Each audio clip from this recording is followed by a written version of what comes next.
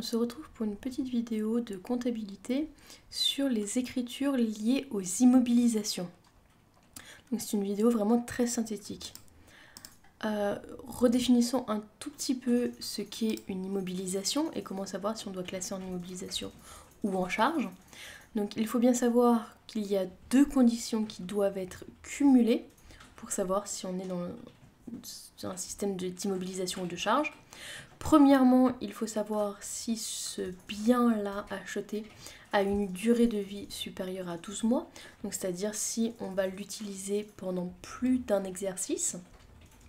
Et ensuite, il faut également qu'il y ait une valeur supérieure à 500 euros hors taxe. Si ces deux conditions-là sont réunies, donc par exemple nous achetons un véhicule, on va l'utiliser pendant plus d'un an, il a une valeur supérieure à 500 euros, nous allons pouvoir le classer en immobilisation. Euh, le fait de classer en immobilisation a plusieurs incidences. La première, c'est que c'est une classe 2 et non pas une charge classe 6. Euh, donc l'immobilisation se retrouvera dans le bilan et non pas dans le compte de résultat. C'est une première chose. Ensuite, nous allons pouvoir pratiquer ce qu'on appelle des amortissements. Euh, on verra ça dans une autre vidéo, comment on calcule les amortissements. et enfin, il y a vraiment une idée de patrimoine qui persiste dans l'entreprise. Donc avec des, enregistrements derrière qui vont être un tout petit peu différents. Donc notamment au niveau de l'acquisition, on va prendre un exemple assez simple, on va acheter une machine industrielle pour euh, tricoter les écharpes, hein. on continue sur notre, sur notre entreprise euh, où on achète de la laine, où on fait des écharpes, etc. Donc euh, la machine coûte 7500 euros, donc hors taxe, je n'ai pas marqué mais on considère que c'est hors taxe. Il y a des frais d'installation de 250 euros, il y a une TVA au taux normal à 20% et un règlement dans 30 jours. Euh, ce qu'il vous faut bien euh, garder en tête, c'est que lorsque vous êtes face à une immobilisation, euh, le coût d'acquisition va prendre le prix, donc le prix hors taxe, 7500 euros, et on va ajouter tout ce qui est frais justement de mise en service, d'installation. À la différence d'une charge où on a toujours plusieurs lignes pour chaque achat, ici tout est inclus dans le coût d'acquisition. Donc il faut bien additionner les 7500 euros et les 250 euros de frais d'installation.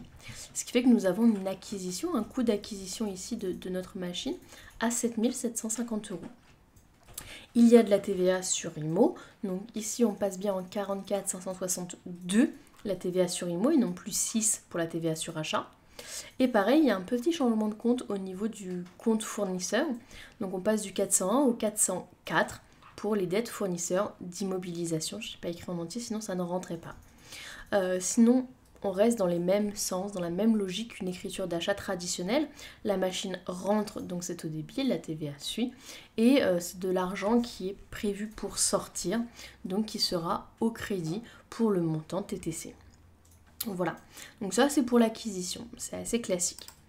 Ensuite, il y aura donc les dotations aux amortissements. Donc pour le calcul des amortissements, c'est dans une autre vidéo.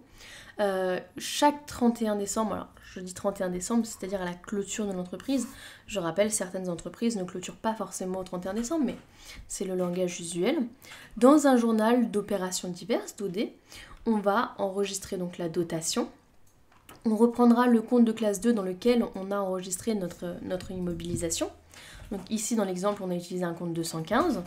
On va venir intercaler un 8 en deuxième position et le compte va se transformer en 2, 8, 15.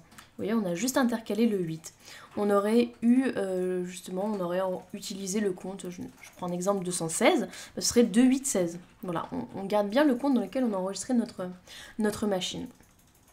Et ensuite, on a le compte de dotation aux amortissements qui lui est un compte de charge, d'accord? Puisque le principe de l'amortissement, ça va être vraiment de venir euh, réduire notre, euh, notre valeur de machine et euh, on considère que c'est l'équivalent d'une perte de valeur pour l'entreprise et donc on va pouvoir, grâce au système d'amortissement, diminuer notre résultat justement. Voilà, c'est une sorte d'incitation fiscale si vous voulez. Donc c'est une écriture toute simple, un débit, un crédit, euh, rien, de, plus. Ensuite, là où ça se complique, c'est quand on fait la sortie, la session. Euh, il y a trois étapes dans la session. La première étape, c'est de constater la cession, donc la vente, hein. mais on ne parle pas de vente quand c'est sur une immobilisation, comme on ne parle pas d'achat, on parle d'acquisition et de cession. Donc tout d'abord, on va, ça reste une traditionnelle écriture comme une vente, hein.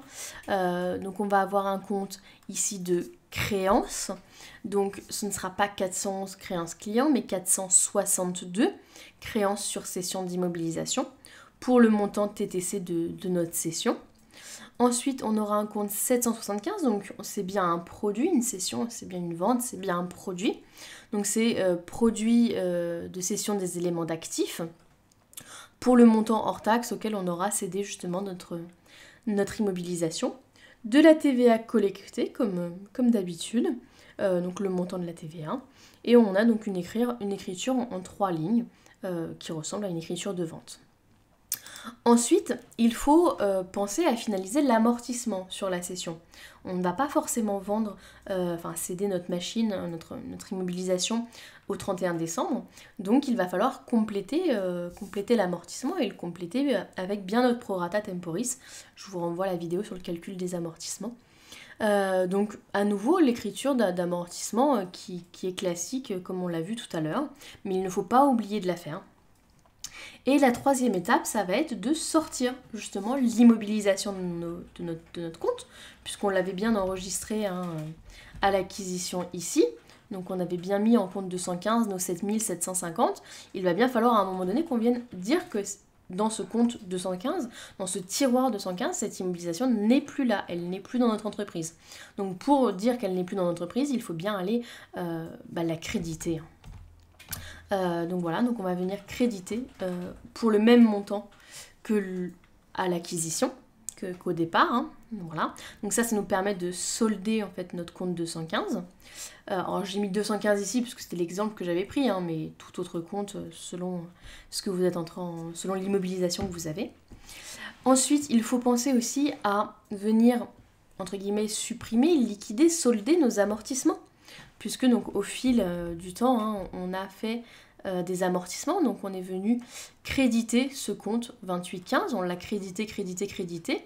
À un moment donné, si nous n'avons plus notre immobilisation, il faut bien qu'on vienne solder ce compte. Donc pour le solder, on va le débiter.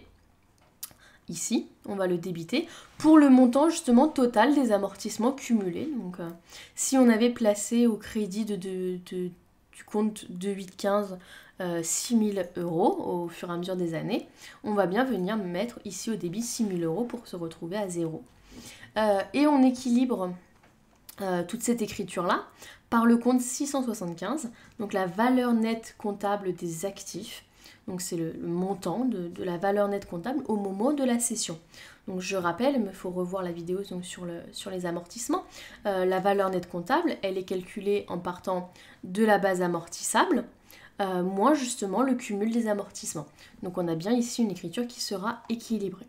Donc voilà, donc une écriture d'acquisition qui ressemble à une écriture euh, d'achat traditionnelle, les dotations aux amortissements chaque 31 décembre, donc chaque fin d'année en tout cas, et puis une session qui se fait en trois étapes et il ne faut pas négliger aucune des étapes. Donc voilà les écritures principales pour tout ce qui est immobilisation. N'hésitez pas si vous avez des questions à me les poser en commentaire.